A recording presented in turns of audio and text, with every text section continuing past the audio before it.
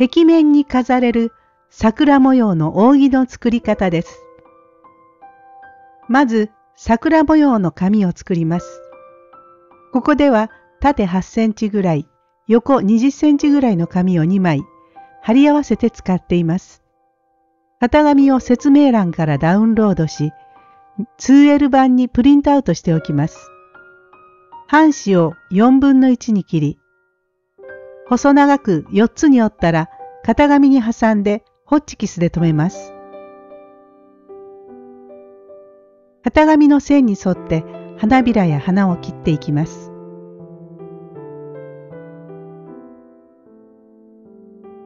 今回は扇を2つ作るので型紙2列分の花と花びらを作りました。これをいらない紙の上に広げ、インクを薄めたスプレーを吹きつける練習をします。インクがつかない程度に乾かしてから本番用の紙の上に配置を考えて並べます。スプレーは右側が濃く左に行くほど薄くなるように吹きつけました。少し乾かしてから型紙をのけて上からもう一度薄くスプレーをしておきます。完全に乾いたら金色でおしべを描いていきます。絵の具を使う場合は粉でもチューブでも乾くと金色が擦れてしまうので少し液体のりを混ぜておくといいです。花の中心から花びらの先の方に向かって放射状に描いていきます。メタリックのマーカーを使うともっと手軽に描くことができます。完全に乾いたら同じ大きさの黒い紙と貼り合わせます。5ミリほどずらしてから糊をつけ貼り合わせるとつなぎ目がきれいにできます。裏返してつなぎ目をしっかりと押さえてから内側に模様が来るように2つに折ります。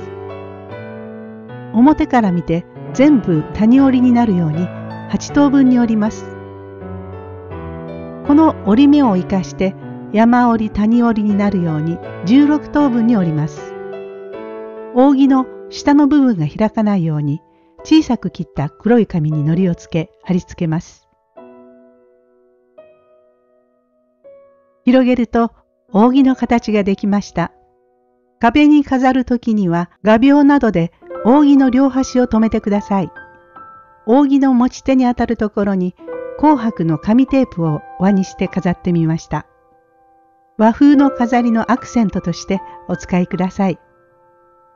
お好きな柄の千代紙や金色の紙で作ってもいいでしょう。畳んでクリップで留めればコンパクトになり、何度でも繰り返して使うことができます。